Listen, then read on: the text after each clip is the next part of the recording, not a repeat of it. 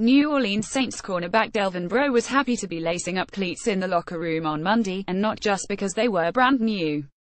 It was the first time in about two months that Breaux actually put on cleats as HES spent that time recovering from a broken fibula suffered in training camp. I'm feeling great, Breaux said. I'm ready to get to work, man. It's been too long. The Saints secondary for the past few games has looked as good as it has at any point in recent years, and soon, the group could be even better.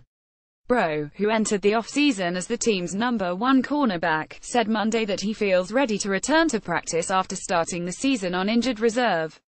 Under the IR rules, which allow teams to bring back two players from the list, Breaux can begin practicing this week, but it's unclear if that will happen. Breaux underwent surgery in August with Dr. Robert Anderson, and Breaux said the doctor told him he'd be ready to return around week 8.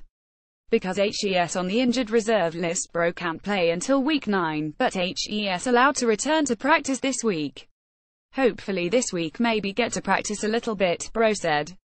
I don't know. Whatever they want me to do, I'm with it. I feel good. Breaux also suffered a broken fibula in week 1 last year and returned in week 9, but HES had a bit more recovery time this year because the injury happened before the season. I feel like way better than last year around this time, and I'm guessing it's just because of the rest and the time I had to actually work and get back, he said. Coach Sean Payton declined to provide an update on Breaux's status as the team approaches the first week in which helps eligible to practice. Breaux said he was planning on doing a little positional work by himself on Monday, but going through a full practice is a different story. As much as Breaux wants to be back, his role in the defense when he returns is unclear.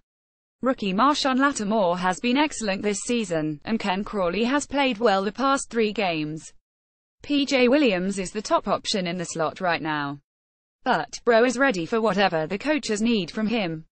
I want what's best for the team, he said. I want to win. Coming in at the right time right now while we're rolling, I think it's going to be perfect.